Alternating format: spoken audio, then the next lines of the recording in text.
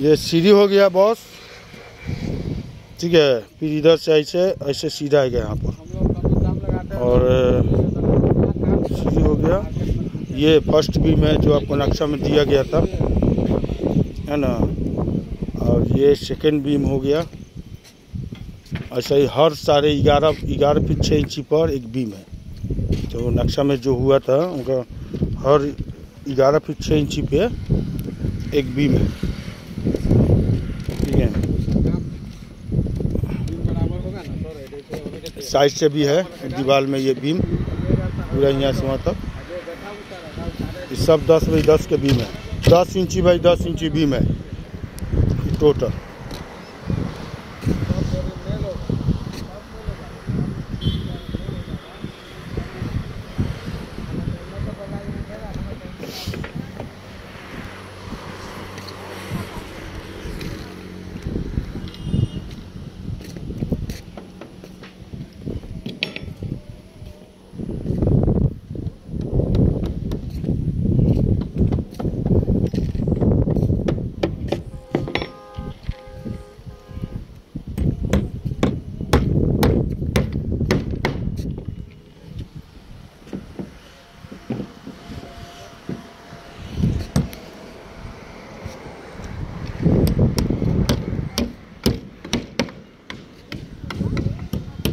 ये सब